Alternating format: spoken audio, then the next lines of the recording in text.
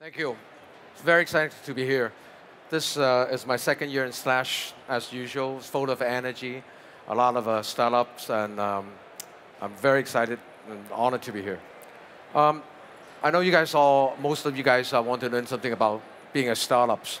Um, a quick introduction of myself. Um, I was, before I started V Plus, I was in a private equities business. Um, I worked for a US fund called Colony Capital. I was there for 12 years. Um, so before V Plus, all I do is investing, private equity. Um, I want to talk about a little bit about the evolution of the office space, working environment. Uh, I think what prompts the change in our working environments is technology, right? Technology is growing exponentially um, in the last 10, 20 years. And if you look at the world today, it's changing so quickly. If you look at the history of mankind, we take about three, 4,000 years from agriculture society. Industrial revolution takes 200 years. Then we come into the information technology. Since the PC started, which is about 30, 40 years ago, we have mobile, we have internet, we have mobile internet, and today we live in the world of digital. We call it a digital society. The key in this digital society, as we see it, is changing fast. We talk about a lot of buzzwords today, big data, blockchains, artificial intelligence. What's the implications? What's the implication from our perspective is the future business world is the adventure of unknown. A lot of things we see as, as a, a, a daily life has completely changed. If you look at our mobile internet, I would say that's initiated by the introduction of iPhone, right? Which is only about 10 years ago. It completely changed the way we live, the way we work, the way we shop, right? And most importantly, if you look at Facebook, Twitter, those are necessity of our life today. 13 years ago, there's no Facebook. 11 years ago, there's no Twitter. So what, what the future will bring to us, we don't know. Because all we see is constantly change. How to survive in that world's real-time data. You know, we always talk about big data one of the key things is flexibility. If you're a startup, what you need to think about is your business model today versus your business model six months from now, one year from now. What will likely to happen to that business model? Are you, are you flexible enough for change? Is your team flexible enough, right? Resilient agility, we don't need to talk about too much about it, we all know. Learning capability, learning from the industry, learning from others. Those are the key things for you to survive.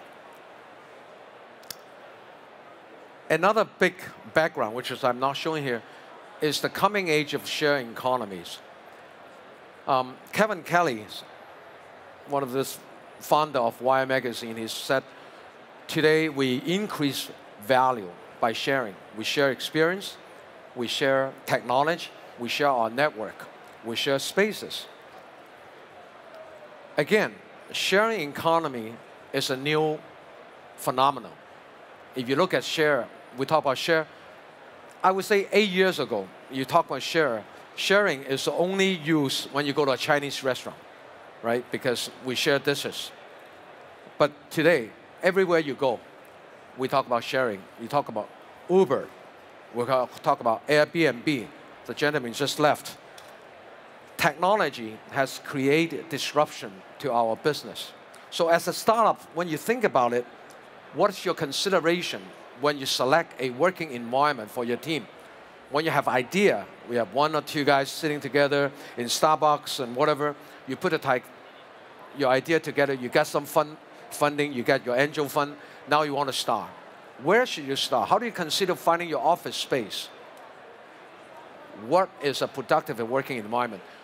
I think some of the key considerations we have to look at. cost is important. How much you're willing to pay for your space. Second, I think it's most important thing, flexibility. Again, in a fast change world, flexibility is very valuable. Since I started We Plus two and a half years ago, now we have 55 space. We currently have about 1,500 small to medium company from anywhere from three to 50 people um, working in our platform. In the last two and a half years, I see company go ups and down. A lot of startup came in, five people, six people. In three months' time, they have increased the team to 20, 30. Six months later, they have 60 people. So that's something you need to think about. And also, I see some of the teams that came in with 50 people. Three months later, they're down to 20 because the environment changed, your idea changed, your business model changed. So flexibility is something you keep in mind when you are a startup. Do I want to invest $100,000, 100,000 euros to remodel an office which fit 10, 20 people? And knowingly, if the business go well, in six months' time when you're getting that A round funding or your B round funding, you will probably expand to 50 or 60. And then you need to think about finding a new offices, right? And the 100,000 euro that you invest in renovate the space is sunk. It's a sunk cost.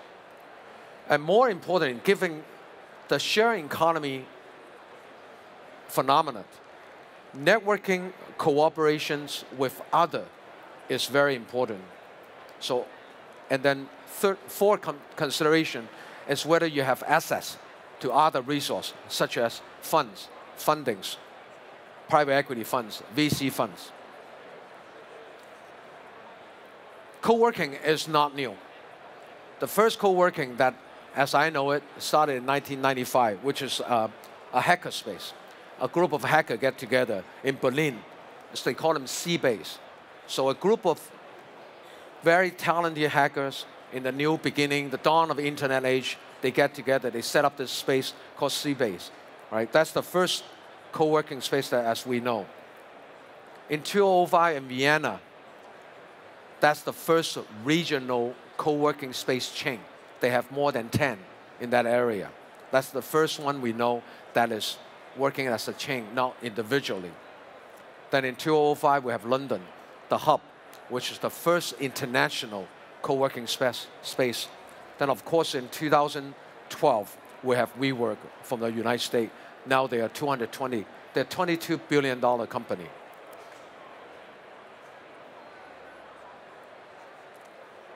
So what is a co-working space? What did it give to you? If you look at that, receptions, events, coffee shops, kitchen, meeting rooms, office space. You sometimes, some of them have gyms, patios, working gyms, social area. So a new working environment, I think, I got the idea from Eric Schmidt, which is the founder for Google. A productive working environment for innovative society is an environment that encourage communications, encourage people get together from all thought of life, have some sort of bright idea, let them have time, let, let them discuss, right? So encourage communication, force a sense of community and cooperation is the key to productivity. So when we set up our V Plus stylish, energetics, fun, sharing, social. So again, in today's world, working, social, commercial space, the line is getting blurry. This is some of the picture that is in our space. Everyone, we now have 55. Everyone is very different. Uh, different, different characters, And most important, in a co-working environment for startup, why is it important? It's not just styles, fun, social. More important is the communities. You are working with a lot of people that's just like you, struggle just like you, have a dream just like you, have idea just like you. So connecting with other people, sharing your ideas, cooperating. I think those are the things that you're looking for in a, today's environment. And we now have three countries, 18 cities, 48. That's just advertising, so we don't have to worry about it. So, in conclusions, I leave you with this quote Don't be in such a rush to figure out everything out. As a startup, you have a lot of uncertainty. Don't worry about it. Embrace the unknown and let your life surprise you. Come to a co-working environment, something with the character, someone working with someone just like you, have ideas just like you, and perhaps you found something for your life that completely change. Thank you. Thank you so much for this great talk. You can stay on stage because now we're going to follow up with the questions. Yes. An example of how your own company benefit from working in a co-working space. Well, I'm the operator on a co-working space, so our business model is very simple. We get them together. I think there's three dimensions to the business. One is space, how to build a stylish a, and, and, and characters and also an environment that encourage people to get together. Someone that can fall in love in the, in the first sight. So style is one thing. So space is first dimension. Service that we provided. For startup, what can we provide? We can get you legal advice, tax advice, funding, right? Events, social. Those are value-added services that we provide. And thirdly, I think most importantly for us is incubations and investment. We set up a fund alongside with our platform, which we invest on some of the company that in this, this, this uh, um, uh, what we call it, we want to call it a creative platform because most of the company that come in to working space are some sort of, they are working in creative business, whether that's computer, gaming, uh, O2Os, design, culture, um, entertainment, so on and so forth. So we selectively invest in some of those. We provide resource um, for them to grow. That's how we benefit. So the co-working space provide additional services such as training programs and external monitoring, uh, mentoring. Yes, selectively. Um, we do that. Um, we don't do the training ourselves. We find you a third party. So uh, for WePlus, we invest two incubators. One is in gaming, which is one of the biggest incubators in China. Uh, we also invest in a um, training service, which provide training for management, um, not in technology, but more in business model, um, social aspect of, uh, of the product, um, customer ex uh, experience, um, so we invested two um, incubator or training programs, which provide to some of our um, tenants. Do you have experience working in the nature? Does it accelerate creativity? Working in the nature outside of office? You mean, I don't quite understand that question, nature. Um, no, I have no experience working in the nature. How does co-working space tackle the problem that lead for silent while working? Good questions. Um, what we find out is open desk doesn't always work. Open desk works for individual. So if you're, you're a freelancer, you're only by yourself, then you're fine in an open desk environment. But any company, any startups that have more than three people, it's better you have a confined offices. Okay? So in our space, I say 85% are small offices devoted to small teams, anywhere from five to 20 people, right? So you have small, medium-sized, large offices, right? You have common area, meetings, facilities, coffee shops, gym, which we're all sharing. But when you work, you go back to your little office, so can help you concentrate. So Open Desk is only for mobile workers. So let's say that you're Helsinki, now you're in Shanghai, you're traveling, you know, eight, 10,000 miles away, and you're by yourself, then as a member of V you can go to any office in China or in San Francisco or soon will be in Australia. You can come to the V. You can have open desk. You can book your meeting rooms. You don't have to meet your client in Starbucks, right? So open desk only work for mobile workers or individuals. So when you first started, you're only by yourself. You have idea, but you don't have a team yet. You need a space. You want to talk to people. That works. But when you have a team of more than three people, go into office.